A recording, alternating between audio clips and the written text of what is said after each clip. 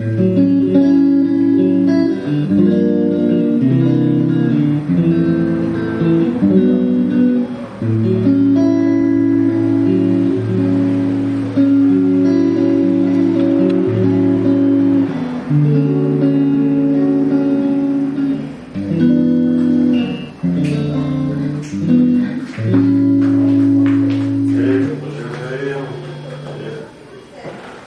tocar Wave de Antônio Carlos Jobim. Mas...